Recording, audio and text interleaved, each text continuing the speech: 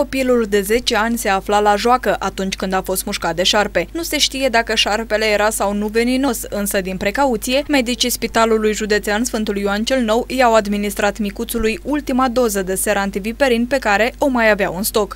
Copilul în vârstă de 10 ani a venit uh, cu ambulanța, fiind adus de la fundul Moldovei cu mușcătură de șarpe la nivelul gleznei stângi. S-a administrat uh, un ultim uh, ser antiviperin. Din păcate, în momentul de față, spitalul nu mai are în, uh, în stoc niciunul. Până să refacă stocul de ser antiviperin, medicii de la urgențele Spitalului Județean trebuie să împrumute medicamentul de la alte unități medicale în cazul în care este nevoie. Cred că în momentul de față în județ mai sunt două sau trei seruri antiviperine la diferite spitale.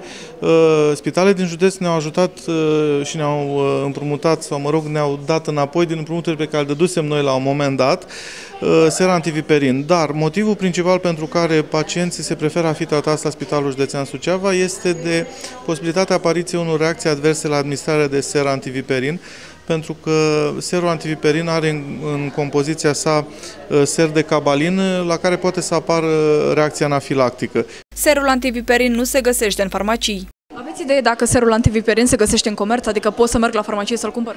În mod categoric nu. Uh, este vorba despre un produs, după cum am spus, a cărui unic deținător a licenței de punere pe piață este uh, Unifarmul. Respectivul produs este importat, este adus din Slovenia, nu se produce în România.